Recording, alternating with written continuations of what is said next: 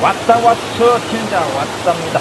오늘은 함양 용추폭포를 가보겠습니다. 용추폭포 용이 춤추다 하늘로 승천한 그런 폭포이 함양에 있습니다. 폭포의 위쪽에서 아래로 지금 카메라를 잡아봤습니다.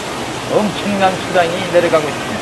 밑에서는 폭포에서 물놀이를 하는 것이 허락이 되어 있습니다. 멀리서 안전지킴이가 지켜보고 있습니다. 아, 폭포의 수량이 엄청납니다.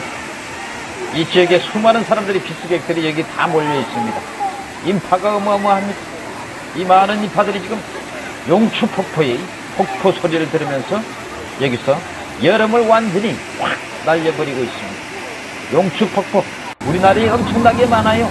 용이 춤추다, 용이 성천하다, 용이 하늘로 올라가다, 용추 폭포가 여기 가도 있고 저기 가도 있는데 함량이 용, 용추 폭포 엄청난 물량을 수량을 자랑하면서 오늘 용추 폭포 비수를 마친데